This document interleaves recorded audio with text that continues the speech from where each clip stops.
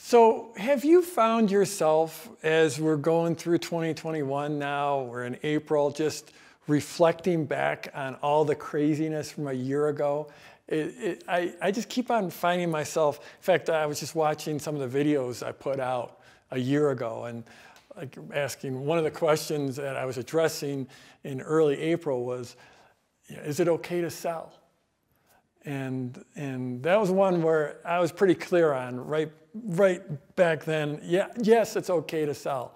Yes, there's a lot of pain happening with this pandemic thing that's coming on and people are losing their jobs, but, but clearly commerce is what we want. We want to drive the economy and that's driven by sales. So that's one I got right uh, early on.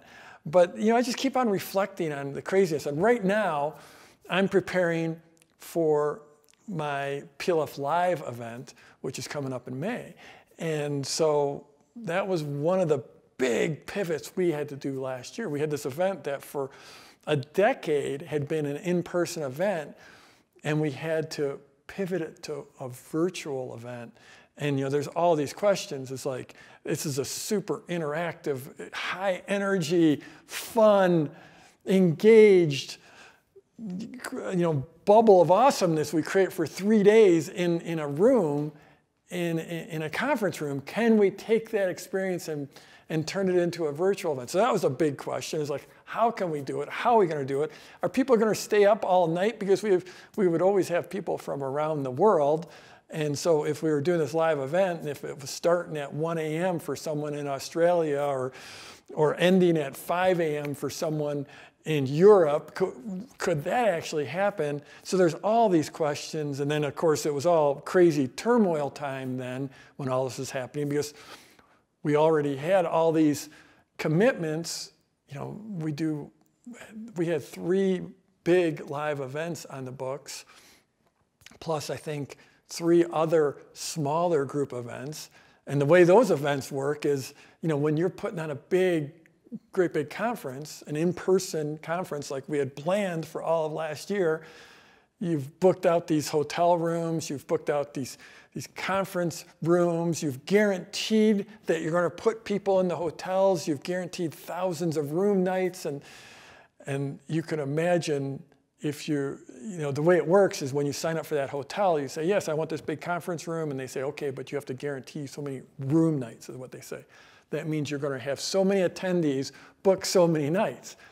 And you're, you guarantee it's going to happen. It's part of the contract. That's the way the business works. So we're on the hook for literally hundreds of thousands of dollars. It was crazy.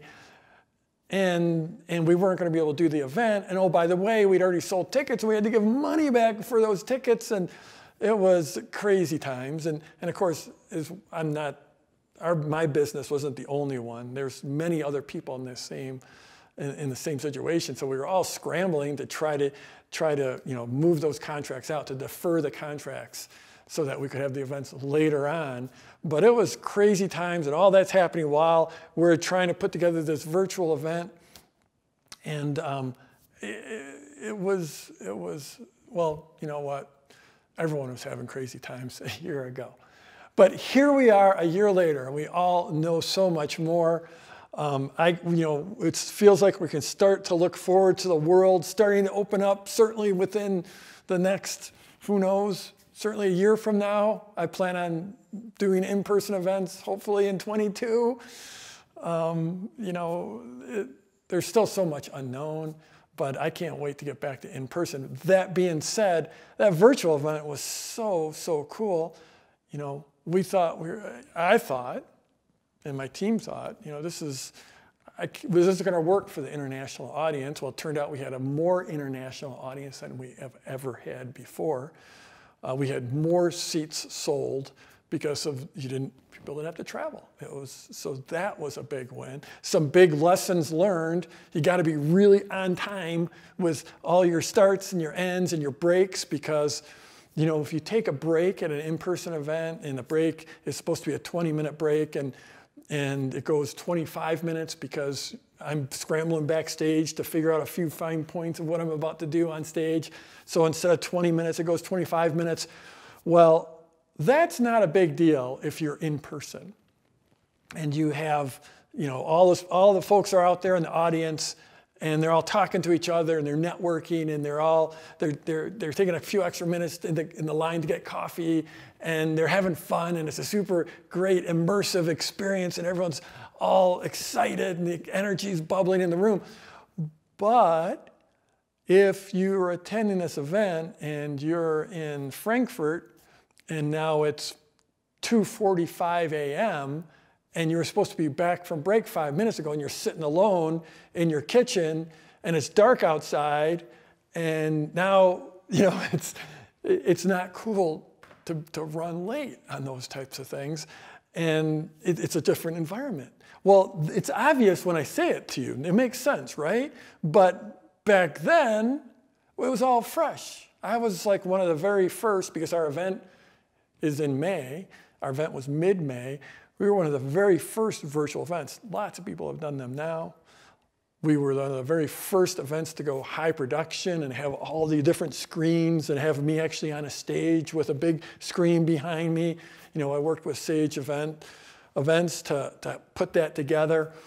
And, but I think we were probably the, I think we were the third event ever to do that style of production. So there was so much learning um, so much stuff is obvious now in retrospect, but yeah, it's just crazy, crazy times. So right now, as I'm talking to you, we're going through iteration two for us.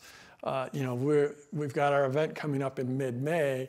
I'm looking forward to it. I think this is going to be our last ever big time virtual event like this because I do want to go back to in person, but I'm also super looking forward to, you know, being able to have such a global audience that people can attend without having to travel. People can attend without having to worry about their health. People can attend without spending the money to travel. Um, and you know, also in my head is that I have to work really hard to get people to show up because you know when you have that when they travel across the country or across the state or across the world to come to your event and they're all in your event they're in the hotel, it's a lot easier to get them to come. You know, once you get them to fly, to travel, they're in there. But with virtual, I know I'm working, I'm going to be working very, very hard to get people to actually show up because it's, it's easier for them to be distracted. They're in a, a more distracted environment. So that's why we work really hard to get them to show up and to make it as immersive and interactive as possible. So I, look for in the next few days, I'll, I'll be sending an email out with a link to get signed up. I hope you consider attending because I love this event. It's, I've been doing it for, well, since 2010. We've had thousands of people go through it. It's incredible. It's all about getting people to launch, getting them to come to the event and getting their launch nailed, to learn from examples. Um, it, it's going to be super cool. Looking forward to it. So look for an email for me um, in the next few days telling you all about the event, of dates, times, and getting you all signed up. I'm going to have an incredible deal that I've never done before. And I've just got to say, it, it's been a crazy year. It's been an insane year. We all know that. We've all had massive challenges of, of every different sort. But you know, one of those first videos I put out right in the middle of March was, we're going to get through this. And clearly we are moving through it and the end's in sight. So um, yeah, there we are. I'm Jeff Walker. Wherever you're watching this, scroll down, leave a comment for me, and let's go get them this week.